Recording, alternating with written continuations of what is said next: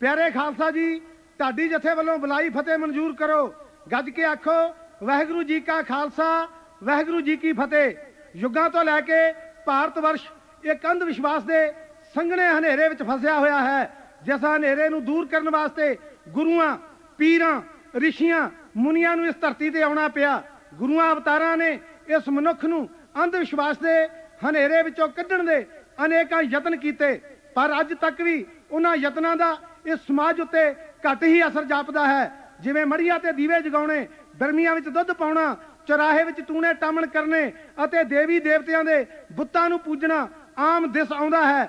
ਦਸ ਗੁਰੂ ਸਾਹਿਬਾਨ ਨੇ ਇਸ ਪਖੰਡ ਨੂੰ ਦੂਰ ਕਰਨ ਲਈ ਆਪਣੀ ਬਾਣੀ ਵਿੱਚ ਅਨੇਕ ਥਾਂ ਲਿਖਿਆ ਹੈ। ਫਰਮਾਨ ਹੈ, ਜੋ ਪਾਥਰ ਕੋ ਕਹਤੇ ਦੇਵ, ਤਾਂ ਕਿ ਬਿਰਥੀ ਹੋਵੇ ਸੇਵ, ਪਰ ਫਿਰ ਵੀ ਆਮ ਸਿੱਖ ਦੇਵੀ ਦੇਵਤਿਆਂ ਦੇ ਮੱਠਾਂ ਉੱਤੇ ਨੱਕ ਰਗੜਦੇ ਦੇਖੀਂਦੇ ਹਨ। ਜਦੋਂ ਕਿਸੇ ਨਵੀਂ ਕੌਮ ਦੀ ਸਿਰਜਣਾ ਹੋਣੀ ਹੋਵੇ ਤਾਂ ਉਸ ਦਾ ਕੋਈ ਕਾਰਨ ਬਣਦਾ ਹੈ। ਅੱਜ ਭਾਈ ਜੈਤਾ ਨੌਵੇਂ ਪਾਤਸ਼ਾਹ ਦਾ ਸੀਸ ਲੈ ਕੇ ਕੀਰਤਪੁਰ ਸਾਹਿਬ ਪੁੱਜਿਆ। ਗੁਰੂ ਜੀ ਨੇ ਇਕੱਲਿਆਂ ਆਉਣ ਦਾ ਕਾਰਨ ਪੁੱਛਿਆ। ਭਾਈ ਜੈਤਾ ਕਹਿਣ ਲੱਗਾ, ਸੱਚੇ ਪਾਤਸ਼ਾਹ, ਉੱਥੇ ਸਭਨਾਂ ਦੇ ਇੱਕੋ ਜਿਹੇ ਸਰੂਪ ਸਨ। ਮੈਨੂੰ ਸਿੱਖੀ ਦੀ ਪਹਿਚਾਣ ਨਾ ਆਈ, ਜਿਸ ਕਰਕੇ ਇਕੱਲਾ ਆਇਆ ਹਾਂ। ਇਹ ਸੁਣ ਕੇ ਗੁਰੂ ਜੀ ਦੇ ਕਾਲਜੇ ਦਾ ਰੁਗ ਭਰਿਆ ਗਿਆ। ਬਿਰਤੀ ਅਕਾਲ ਪੁਰਖ ਨਾਲ ਜਾ ਜੁੜੀ।